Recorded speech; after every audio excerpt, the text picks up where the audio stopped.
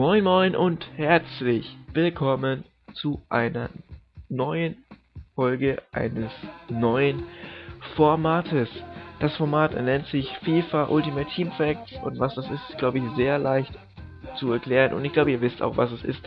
Es sind einfach 15 interessante Fakten über äh, eine bestimmte Nation in FIFA Ultimate Team.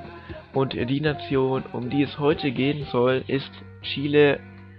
Ähm, jo, ich würde mal anfangen mit Fakt 1. Also, Chile hat 76 Spieler in FIFA Ultimate Team. Davon sind 8 Bronze, 47 Silber und 21 Gold. Angreifer hat Chile 22. Davon ist der beste Angreifer Sanchez. Ähm, dazu, also interessant dazu ist noch, dass Chile zwei Bronze-Angreifer hat, 8 Silber und 12 Gold. Mittelfeldspieler hat Chile 30, ein Bronze, Mittelfeldspieler 21 Silber und 8 Gold. Der beste Spieler ist Arturo Vidal von Juventus Turin. Verteidiger hat Chile 19, 5 Bronze und 14 Silber Verteidiger, also es gibt keinen Goldverteidiger. Der beste ist die Silberkarte Gonzales.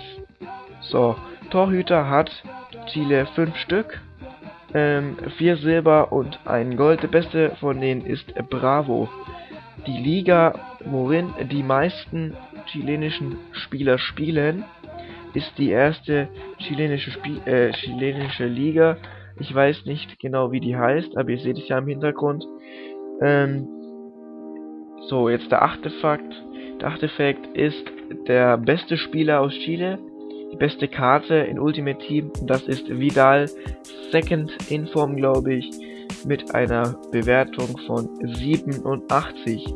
Die schlechteste Karte in FIFA Ultimate Team ist Robledo. Das ist ein Innenverteidiger mit einer Gesamtbewertung von 58 ähm, die ganzen Informs von Chile. Es waren neun Stück. Ähm, und der beste davon ist Vidal Second Inform, der auch der beste Spieler, die beste Karte aus Chile ist mit einer Gesamtbewertung von 87. Der ist auch gleichzeitig der teuerste Spieler, der rund 150.000 Coins kostet.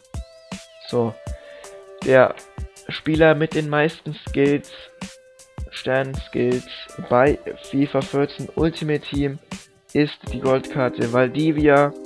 Das ist auch der einzigste 5-Star-Skiller aus Chile.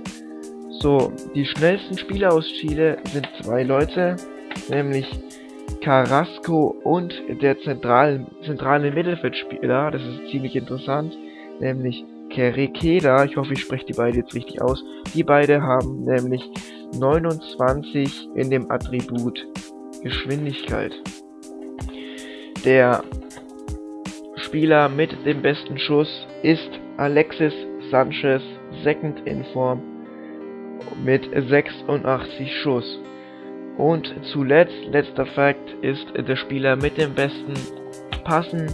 Das ist die Goldkarte David Pizarro mit 87 in passen. Das war's mit der schönen ersten Folge von äh, FIFA Ultimate Team Facts. Ich hoffe, es hat euch gefallen. Immer schön Nationen, die ich ähm, vorstellen kann, besprechen kann, in die Kommentare hauen, dass ich mich daran orientieren kann.